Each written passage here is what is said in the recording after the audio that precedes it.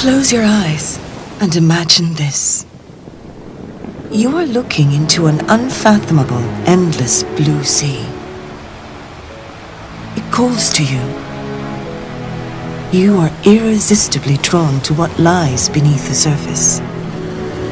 And then you plunge into a new world. A world so unlike the one above it, yet which looks and feels familiar.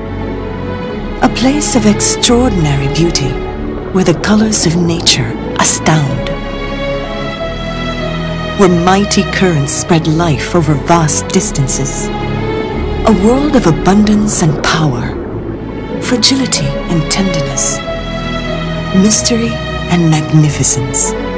It is one of the world's greatest marine ecosystems. And it is here, in the Philippines. Open your eyes, because this world is real. This is Tubbataha. The Samal people call it a long reef exposed at low tide. It is a gem in the middle of the Sulu Sea, 90 nautical miles from Puerto Princesa, Palawan. Explore 97,000 hectares of the dramatic seascapes of Southeast Asia's only purely marine UNESCO World Heritage Site. And let it fill your senses. Two atolls on the north and south formed over millennia and an adjacent reef known as Jessie Beazley make up the Tubbataha Reef's natural park. It sits at the apex of the Coral Triangle, global center of marine biodiversity, sheltering most of the corals found on the planet. Rare and endangered creatures from microscopic blooms to massive whale sharks find a haven here.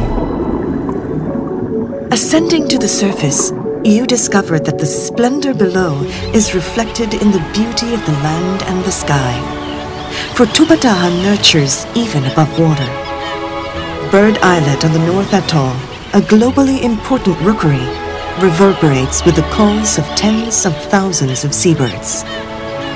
In the South Atoll, a lighthouse guides mariners across the treacherous waters of the Sulu Sea, while in the North Atoll, the ranger station, home of the Marine Park Rangers who safeguard the park, is a solitary bastion of stewardship.